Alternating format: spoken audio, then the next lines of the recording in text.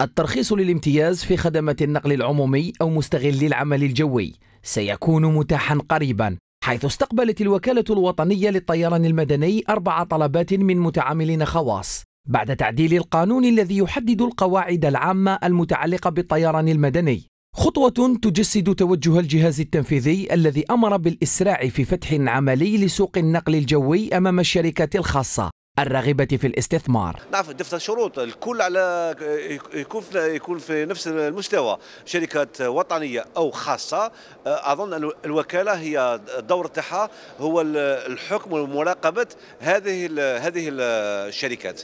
فتح الاستثمار في مجال النقل الجوي أمام الخواص ستنجر عنه عائدات اقتصادية نوعية بالإضافة إلى خلق المنافسة بين القطاع العمومي والخاص. ما من شأنه الإسهام في تحسين الخدمات والارتقاء بها تماشيا والتطور الذي يشهده قطاع النقل الجوي في العالم. الوكالة يكون لها آه، هي تكون مراقبة تكون مراقبة على هذه الشركات وفي نفس الوقت الملفات توضع عند الهيئة الوطنية وتعطينا كانت عندنا كما نقولوا إحنا تجربة سابقة للجزائر ما كانش ناجحة 100% نظن أنها تكون الآن روح تنافسية تنافسيه للخطوط. الجزائري يكون عنده هذه التنافس يكون يمكن يحسن في الخدمة الخدمات وحتى في سلم الأسعار. تحيين الأسطول الجوي المدني وفتح الاستثمار أمام الخواص في هذا المجال تحدي جديد تخوضه الحكومة. بعد تجارب سابقة لم تحقق الأهداف المرجوة.